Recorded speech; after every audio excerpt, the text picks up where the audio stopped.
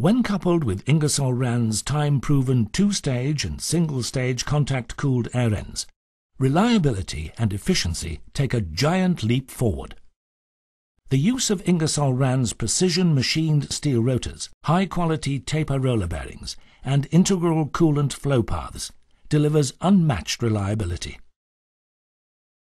The two-stage air ends are renowned for their trouble-free operation and low energy consumption.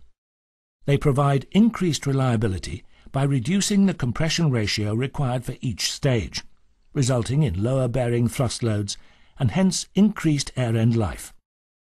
They also have a unique coolant curtain that reduces energy consumption by injecting atomized oil into the airstream, significantly lowering the energy required for compression. Two-stage air ends provide up to 15% more air than an equivalent single-stage air end, while using the same amount of power.